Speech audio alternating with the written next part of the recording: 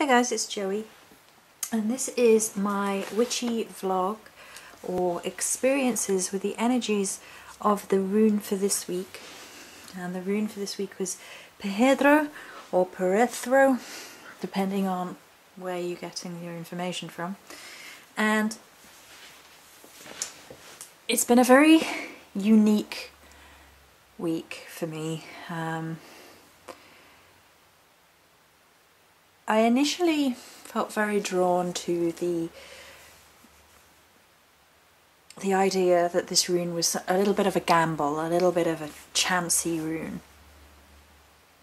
And it soon became clear to me that the idea of the rune as a dice for casting lots was more tied in with truth and destiny. And this rune that came out was actually so much more about the shamanistic side of it and the rune of fate side of it, I was really quite blown away this week by this rune.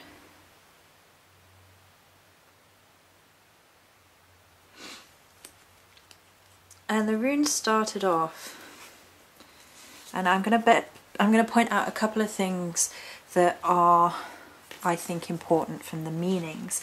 So from the divination side of things, it's often a vision questing rune, a shamanistic rune, a rune of fate. And in healing and magic, sorry, it's used for healing mental health, of finding lost things, and evolving your magical ideas.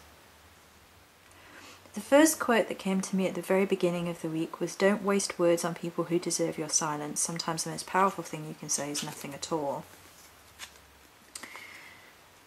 and that seemed to be the it, I followed that advice and no more advice was needed for that situation. And then this rune started bringing out layers and layers of vision questing. It's insane. So at first I saw a reference and description of the Pegasus. And I first thought how on earth can that be possibly connected to this rune or my path? It's, it's not Celtic in any shape or form but then I noted at the end of the information personification of a shaman mount. And seeing as the rune is often called the shaman rune or vision quest rune, therefore it made me sit up and take notice. I also thought perhaps it could have Celtic horse related energies. And uh, the Pegasus was foaled by Medusa when her head was cut off, so a death life connection. And the following quote came from The Smart Witch. The symbolism varies with time. Symbol of wisdom and fame from the Middle Ages to the Renaissance. It became a symbol of poetry and the creator of sources in which poets came to draw inspiration from the 19th century. It was a personification of water, solar, myth, or shaman mount. Carl Jung and his followers have been have seen in Pegasus a profound symbolic historic in relation to the spiritual energy that allows access to the realm of the gods on Mount Olympus. Jung also believed that the Muse's favourite horse, Pegasus, would be another important bridging symbol of our time. He saw Pegasus as a symbol of the positive instinctual force of the subconscious that signals the unification or synthesis of polarities and oppositions. Pegasus comes from the Greek word pege, geyser, or to draw forth water. The essential symbol of the feminine has long been water. Whenever Pegasus's hooves drew water, the muses would always appear. Many said that those who drank from the mysterious waters were endowed with poetic inspiration, loving expression, and heightened creativity. To view the elements of our life in a paradoxal manner is to draw forth, like Pegasus, a whole series of creative possibilities until a hidden unity is revealed. When we access the muses consciously on an intermediary force, we begin to mobilize our true creative work, which Robert Johnson identifies as the dimming of our egos, befriending our shadow selves, and committing to building a bridge between polarities, conflicts, and oppositions in order to create solutions that go beyond compromise or quarrel. This last part was an excerpt from Angeles Arrien's The Nine Muses, A Mythological Path to Creativity. Now, if you're thinking, oh my god, what did you just say? it's basically talking about the balance, which I've been talking about in previous weeks, keeps coming through. Balancing the parts of ourselves, the male and female parts of ourselves, the shadow and light sides of ourselves, the positive and negative parts of ourselves, everything that needs to come into balance for us to grow as individuals and heal ourselves from past wounds. Water is the realm of the goddess, water is the realm of healing and emotion as well. And then there is something about that creative force which is within us all, that ability to create rather than that ability to destroy, and to take on our own creative forces and become something else, something more. The link between horse and water also reminded me vividly of the Celtic Kelpie, a shape shifting horse water spirit commonly known as spirits of the dead. They are not benevolent creatures. Some folklore suggests they won't come unless they come to eat or are summoned, and they do devour human beings who they hate for ruining their homes. The flesh eater here, element here could also be tied to the crow or raven. Anyone who could claim their bridle could force a Kelpie to submit to their will, although subjugation of any Fae is a dangerous idea. They are able to shape shift and they can appear male or female, and they often take humans for wives or hum- or husbands, presumably. And there again is that male female balance, fluidity within the water and are often similar in theme to tales of the Morrigan. And here is a tale of the Morrigan which ties in. According to legend, before one battle, a beautiful mare came to. Oh, I've forgotten how you pronounce it. I think it's Cuchulain. God, is it Cuchulain? Cuchulain? Cuchulain. Oh, I've completely. Oh, I'm sorry. I've had migraines all week, and it's just slipped my mind completely. Claiming to be the daughter of a king, she offered him her love, but he refused. The mare revealed herself as Morrigan, and in revenge for the slight, she attacked him in various animal forms whilst he was in battle. She tripped him as an eel in the ford, but he broke her ribs. As a wolf, she stampeded cattle across the ford, but he put out her eye with a slingshot slingstone. Finally, she appeared as a, as a cow at the head of the stampede, but again he uses that slingstone and breaks her leg. After Cuchulain finally defeats his foe, the Morrigan appears to him as an old mare milking a cow with the same injuries he had given her in animal form. She gives him three drinks of milk, and with each drink he blesses her, healing her wounds. So, you know, um, there is a lot you can take from the mythos of the Morrigan and a woman's lighted and then she was shape shifting and his advan- that he rejected her advances meant that she was furious with him and but it all sorts of resolves. So it's it's tied into similar themes in, in horse celtic lore another connection is that of the Cailleach, I think that's how Kelly, Cailleach, the divine hag, um, often thought to be Morrigan, and took the form of the nightmare, a horse of bad dreams or omens. I did have horrid dreams before, and Morrigan had told me to pay attention to my dreams this week. Okay, there's also the water connection, not unlike the Laguz things, which was water, psyche, mystery, secrets, the unknown, and had the Morrigan sea connection, Morrigan, Morgan Le Fay, Avalon, etc. Now I have to move on because we have changed books. We're now on Rune Journal number three. right, so. Additionally, this day, uh, the same day I, I went through all the horse mythos, I saw a lot of crows at very, very close quarters, and later saw this. Since Crow is the keeper of sacred law, Crow can bend the laws of physical universe and shapeshift. The ability is rare and unique. Few adepts exist in today's world, and fewer still have mastered Crow's art of shapeshifting. Crow is an omen of change. Crow lives in the void and has no sense of time. The ancient chiefs tell us that Crow simultaneously sees the three fates, past, present, and future. Crow merges light and darkness, seeing both inner and outer reality. Sams and Carson's medicine cards, entire quote from The Conjuring of a Dark Witch. So altogether, the imagery of this rune and its symbolism is rich already. We have shape-shifting in multitudes, kelpies, crows, morrigan in her legends, uh, as well as the Cailleach, nightmare horse, dark horses.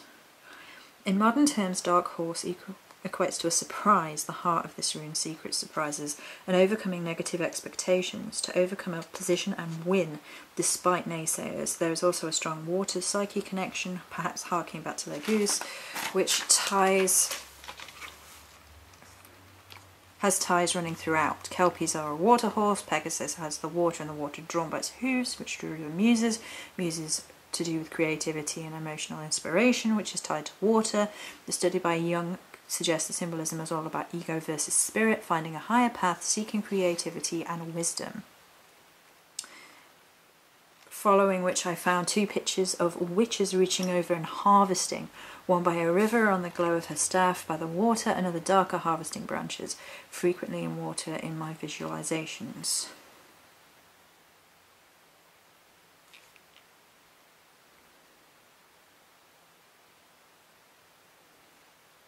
Uh, I started to have sort of very strong psychic flashes of images which could I wasn't sure if they were from the past, the present or the future and it kind of brought up that connection to the crow. Crow is in the void, and the crow priestess invocation that resonated so strongly with me by Geldercraft. And I think I noted that at the very end of last week. And I will reread it.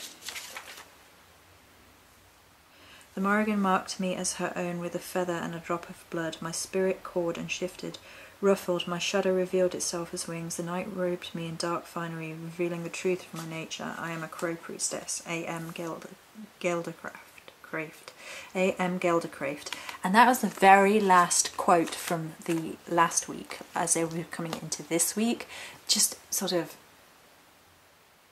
there is a great big fat pigeon outside my window eating rowan berries. Sorry.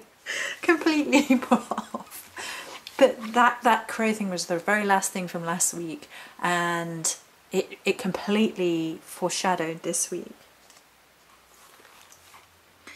Then I kept seeing mentions of flying oil, astral projection oil everywhere, and that is where the connection is. This week's rune is a shaman vision quest, the info about crow energy being fluid, the invocation as a crow priestess. Further crow raven information from the Smart Witch. They are totem birds of the Dark Goddess, uh, Badb and Morrigan specifically.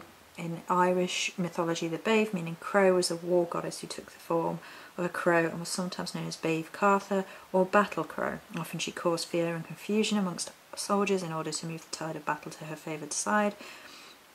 She appeared prior to battles to foreshadow the extent of the carnage to come or predict the death of a noble person. She would sometimes let out wailing cries to foretell death. Typically, these birds appear in groups of three, a sign that the Morrigan is watching or that someone is getting ready to visit. There was a few more references to Morgan Le Fay this week. The cuddly raven showed up this week. I created the Eye of Crow set, drawing on the shape-shifting Vision Quest energies that have been flowing through this week. And a final quote from Geldercraft, who is, she's just amazing.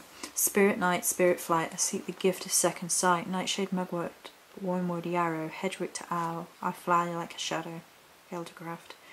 Additionally, the new Ogham runes appeared this week, further progression on my on a, my Celtic path. New crafting materials appeared this week that I'd been waiting for to allow my creativity to grow, and also this week I've been suffering absolutely terribly with migraines.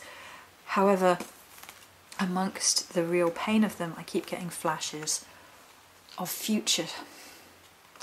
And part of me was like, it, you know, is this a reaction to the growth of something to do with me being able to perceive and receive images and things, or is it just you know pain and growth all in one go, or is it just that that those buzzing of um, disconnecting energy things that cause migraines are, are causing flash images. Not that anybody who is suffering from migraines should not seek medical help if they are suffering more than they usually do or more terribly than they usually do. Do not think that this is a way to, for you know, get in, uh, get more witchy, get more.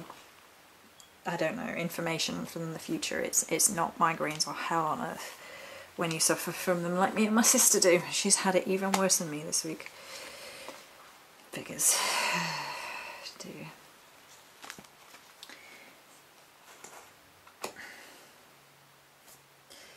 So this week has been all about the vision quest. It's been all about seeing, it's all about feeling out what possible futures could be. There's been all sorts of crow imagery, shape shifting crow imagery, and the crystals around here, by the way, I mean the crow feathers should be obvious. The crystals around here are ones that I would utilise within astral projection or um, shape-shifting meditations for protection for, for the spiritual contact and then my spirit stone at the top and levels of protection as well. It's been a weird week it's been a very interesting week. It's been a very enlightening week. There's been a, like a progression of myself, like a growth, uh, a shifting, literally. Um, I've started something more than I was, and it's to do completely with the Morrigan. It's to do with being a crow priestess. It's to do with taking on board those energies and uh, with the wheel turning and the sowing coming up and the crone energies getting more and more powerful it makes a lot of sense. We're going inwards we're getting to grips with our own spirituality our own selves. We're healing the things which we need to heal through. We are exploring the things we need to explore through and we are changing into the people who we are destined to become. Many blessings